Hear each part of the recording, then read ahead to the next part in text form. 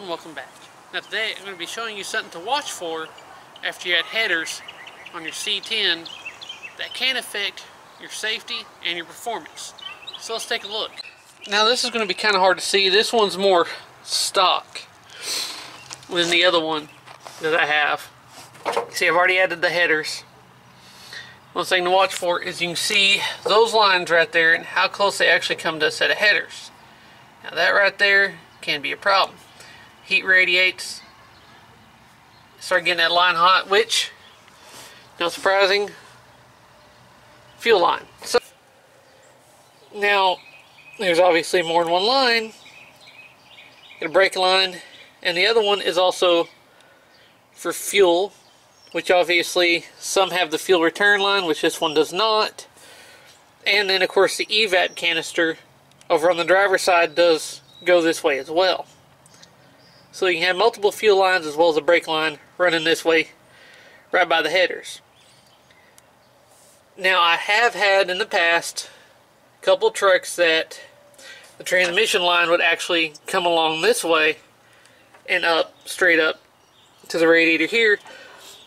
And that may not be a factory, that may be someone changing the transmission lines at some point in the truck's life and reroute them this way instead of going down this way between the pan, oil pan and the cross member and up and around this way.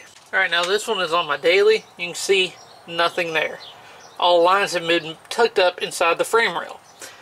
Now at one point I did have to change the fuel line after I bought the truck. So I went ahead and tucked it up underneath there as close as I could.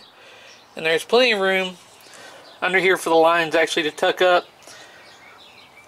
And you see without the shroud on this one, you can see that I did leave this line right here then went to the evap. And then you can see the brake lines running this way. Now one does just go right here but the other goes to the back. So getting them tucked out of the way just better because obviously like I've said headers radiate heat. Even ceramic coated slightly does. Not as bad as the others. Ceramic coating is a lot better at keeping heat in.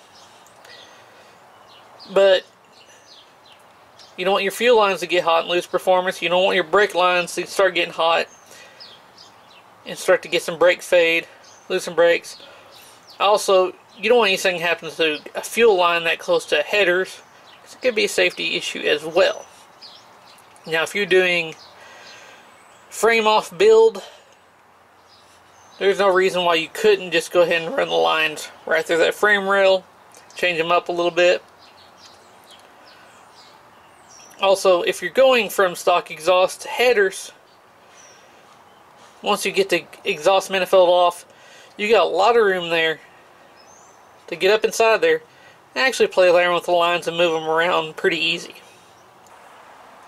Pretty much, to me, there's no reason not to move those lines out of the way. Now I hope this video proved helpful, and as always, thanks for watching.